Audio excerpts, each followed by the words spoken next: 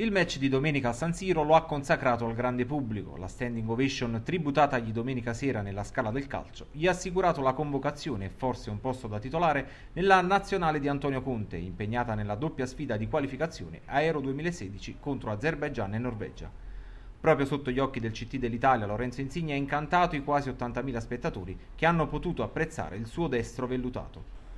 L'assistenza di un ispiratissimo Higuain, unita al cambio di modulo, permette a Lorenzo di sprecare meno energie nella fase difensiva e sprigionare tutta la sua potenza negli ultimi 30 metri di campo. Intanto, dopo i 4 gol subiti in casa, il Milan riceve anche un'ammenda di 15.000 euro combinata dal giudice sportivo per i soliti cori antinapoletani partiti dagli spalti di San Siro.